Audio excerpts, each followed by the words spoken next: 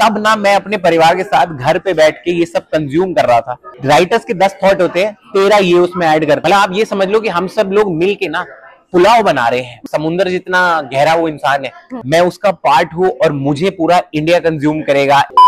Hi guys, my name is Indra Sani and you are watching me on Telegram hi Indra welcome to Telegram ji. So firstly many congratulation आपके show के लिए। क्या Thank- कहना चाहोगे? कितनी excitement है nervousness है अपना एक स्टेज छोड़कर ये स्टेज पर आकर परफॉर्म करना। कितना चैलेंजिंग है? मैम एक्साइटमेंट एक्चुअली पूरी है ऑनेस्टली बताऊँ तो because live stand up art form और टेलीविज़न की कुछ चीज़ें हैं जो सिमिलर है क्योंकि कमिटमेंट और रिस्पॉन्सिबिलिटी वही है कि हंसाना है हंसाना है। बट वहाँ क्या है कि लाइव आर्ट फॉर्म में ना ऐसे लाइव फीडबैक दे देते हैं लोग चलते शो में कि ए दूसरा सुनाओ मज़ा नहीं आया इस वाले में.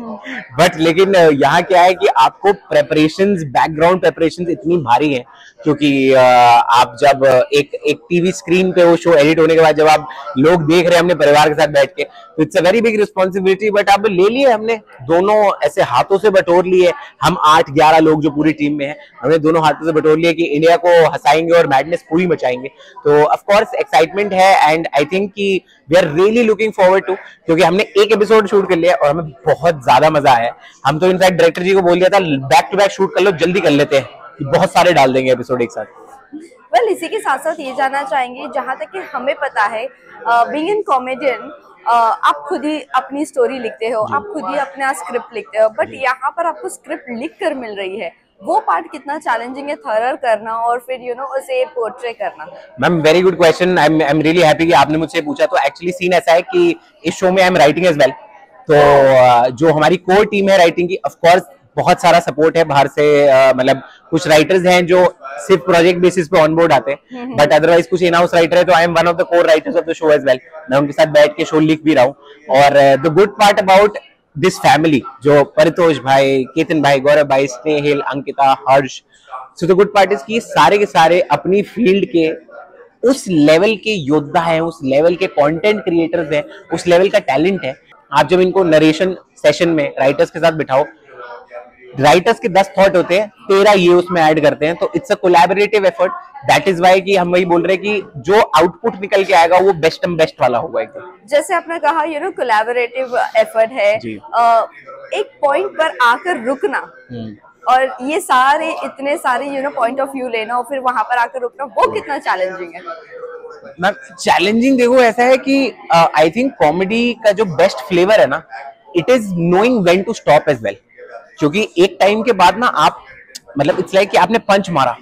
और उसके बाद जो हम लोग लाइव आर्ट फॉर्म में तो बहुत करते हैं कि हम लोग रुक जाते हैं जिसको हम लोग पॉज लेना कहते हैं। और जब हम देखते हैं कि अब तुम लोग समझो और तुम लोग देखो कि तुमने कैसे परसीव किया है क्योंकि सेंस ऑफ़ ह्यूमर है। Yes. हर कोई जोक अपने तरीके से उसको लेता है। बट टेलीविज़न की एक बेस्ट बात और सबसे चैलेंजिंग बात जो मुझे लगती है कि आपको सबको सेम बात सेम लेवल पे समझानी है। वो पूरा इंडिया एक साथ समझना चाहिए उसको, उस जोक को। तो आई थिंक कि उसी के लिए जो हम लोग बैकग्राउंड में एफर्ट डाल रहे हैं, आठ आठ घंटे रिहर्सल के लग रहे हैं हम लोगों के। और हम लोग दो दो हफ़्ते से पहले राइटिंग में नरेशन में बैठे होते हैं। तो आई थिंक कि वो सारा आपको हार्डवर्क ना एपिसोड में दिखेगा नौ मार्च साढ़े नौ बजे, पक्का दिखेगा। वेल इंदर ये जानना चाहेंगे आप एक कॉमेडियन हो और एक कॉमेडियन के लिए पहले बहुत सारे प्लेटफॉर्म्स नहीं थे एक्सेप्ट यूट्यूब और you are also known as a YouTuber also but अब जब ये प्लेटफॉर्म मिलता है बट ऑब्वियसली नेम और फेम दोनों मिल जाता है। तो इस नेम और फेम को आप किस तरह लेते हो? देखिए एक्चुअली मैं इसको उस नज़रिए से देखता हूँ कि मैं आज से 2017 में मैंने कॉमेडी चालू करी 2018 दिसंबर में पहला यूट्यूब पे वीडियो डाला। तो बट लेकिन मैं सोनी एंटरटेनमेंट टेलीविज़न को इस प्लेटफॉर्म को मैं उस नज़रिए से देखता हूँ कि आज से 15-16 साल पहले जब सोनी वालों ने कॉमेडी बनाना शुरू किया था जब वो उन्होंने नए नए तरीके के कॉमेडी शोज़ स्टार्ट किए थे दिस इज़ 2007 2008 वाला time I am talking about तो तब ना मैं अपने परिवार के साथ घर पे बैठ के ये सब कंज्यूम कर रहा था और आज 17 साल बाद आफ्टर ऑल दिस राइल मैं उसका पार्ट हूँ और मुझे पूरा इंडिया कंज्यूम करेगा इन आठ दस लोगों के साथ तो it's a brilliant feeling well इसी के साथ साथ ये भी जानना चाहेंगे इस शो में यू you नो know, एक अलग सी एक अलग सा प्लॉट दिया गया Right. है। जितने भी हमने लाफ्टर और कॉमेडी शोज़ देखे हैं सोनी पर hmm. उससे तो बिल्कुल हटकर ही है। तो क्या लगता है what will be the USP of the show देखिए जी यूएसपी ऑफ़ कोर्स जो हम बात कर रहे हैं यूएसपी आपको इस तरीके से मिलेगी कि आपने यूट्यूब पे या इंटरनेट की दुनिया में लाइव स्टैंड कॉमेडी देख ली जो मैं और गुजराल करते आ रहे हैं बहुत टाइम से। आपने एक्टिंग के टैलेंट वाइज हुमा को देखा है परितोष को देखा है आपने स्नेहिल को देखा है बीसी आंटी जिनका नाम yes. है आपने केतन और गौरव को और कुशल को और हिमांगी को डबिंग करते हुए मिमिक्री करते हुए एक्टिंग करते हुए देखा है तो जब इन सबको under one roof Sony Entertainment Television वाले ले आए हैं ना तो वो जो निखर के निकलेगा ना सबका एक कोलैबोरेटिव एफर्ट सबका मतलब आप ये समझ लो कि हम सब लोग मिल के ना पुलाव बना रहे हैं हम्म। तो कोई चावल ले आया है कोई आलू लिया है कोई मटर लिया है कोई पानी लिया है कोई मसाले लिया है हम्म। और आपके लिए एक बेहतरीन सी टेस्टी सी डिश तैयार हो रही है और इस शो में इस हाईलाइट के अलावा जो एक और बहुत प्यारी सी हाईलाइट है बहुत इंटरेस्टिंग सी हाईलाइट है जो मैडनेस का नेक्स्ट लेवल है वो है हमारा रियलिटी सेगमेंट जिसमें if I am not wrong Indian television Indian television history में पहली बार सोनी एंटरटेनमेंट टेलीविज़न पे कोई कमेडियन कॉमेडी का सेट छोड़ के हम्म। बाहर रियल लाइफ में जाएगा हम्म। और इंटरेक्ट करेगा लोगों से और डे टू डे जो रोज़मर्रा की चीज़ें हैं हम्म। चाहे वो उसमें कोई जिम का ट्रेनर बने चाहे वो कोई डोसा बेचने वाला बने चाहे कोई रिक्शा पुलर बने लिफ्ट का वॉचमैन बने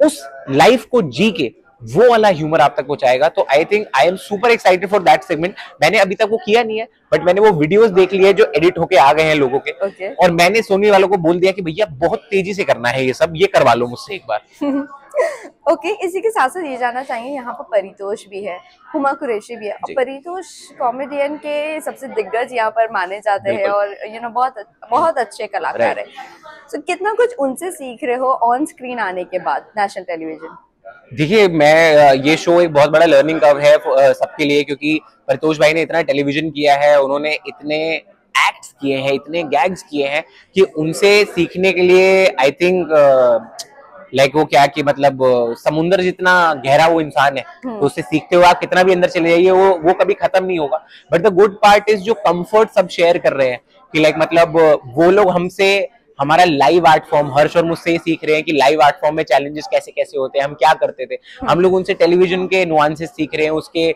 जो दाव पेच है वो सीख रहे हैं तो इट्स अ ब्यूटीफुल फैमिली जो बन के निकल के आ रही है और इंडिया उसको उस फैमिली का एंटरटेनमेंट इंडिया के लिए नौ मार्च से शुरू हो रहा है साढ़े नौ बजे सिर्फ़ और सिर्फ़ सोनी एंटरटेनमेंट टेलीविज़न पे। वेल well, इंदर ये भी जानना चाहेंगे।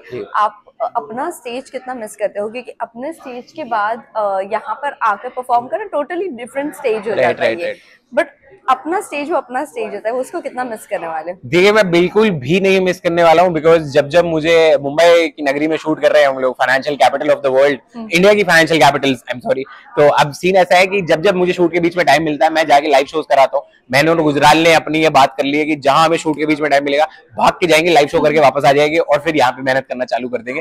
तो दोनों का फ्लेवर साथ लेके चलेंगे क्योंकि देखिए हम लोग बने उसी दुनिया से हैं। हम लोग उसी दुनिया का पार्ट है। आपकी दुनिया में आ रहे हैं अपना फ्लेवर आपको देने के लिए। तो वो लोग ने प्यार दिया अब आपसे प्यार बटोरने आ रहे हैं। बस करिए और कोई दिक्कत ही नहीं वेल इंदर कॉमेडियन के लिए बहुत सारे प्लेटफॉर्म्स खुल चुके हैं। सो so, ये जानना चाहेंगे आपको अगर अपॉर्चुनिटी मिलती फॉरन रियलिटी शो कौन सा हम्म। वो रियलिटी शो है जिसके लिए आपको ऑफ़र आ चुके हैं और आपने डिनाई किया है? जी मेरे को अभी तक किसी रियलिटी शो के ऑफ़र नहीं आया मेरे को सबसे बड़ी दुख इस बात की है कि जो अपने ही शो में जो रियलिटी सेगमेंट हो रहा है उसका ऑफ़र अभी तक नहीं दे रहे। मुझे बाकी किसी रियलिटी शो से इतना बारा खाता भी नहीं है। मुझे ये वाला रियलिटी सेगमेंट करना है क्योंकि मैं बता रहा हूँ मैंने पारितोष भाई के दो एपिसोड देख लिए जो रियलिटी के शूट हुए मैंने देखे हैं। हम्म। मैंने शूट होते हुए देखे मैंने एडिट के बाद देखे। मुझे ये वाला रियलिटी करवा लो बाकी रियलिटी जब मौका मिलेगा कर लेंगे क्योंकि आधे से ज़्यादा में तो कलेश ही हो रहा होता है। ये वाले में मैडनेस है और इंटरटेनमेंट है। तो ये देखो आप। सो लास्ट जाते जाते अपने फैंस एंड व्यूअर्स को अपने अंदाज में कुछ कह के जाइए। दोस्तों आ, हम लोग तैयार हैं अपनी टोली अपने परिवार के साथ अपने रेसिपीज़ के साथ मैडनेस मचाने के लिए और इंडिया को हंसाने के लिए। तो प्लीज़ नाइन्थ मार्च साढ़े नौ बजे से टीवी लगा के चिपक के सोनी एंटरटेनमेंट टेलीविज़न पे बैठे रहिए। हिलिएगा मत क्योंकि संडे को भी आ रहे हैं और फिर पाँच दिन रेस्ट कर लीजिए फिर सैटरडे को हम आ जाएँगे आपके पास। तो शो आपने देखना है और प्यार भर भर के लुटाना है thank you so much all the best thank you thank you so much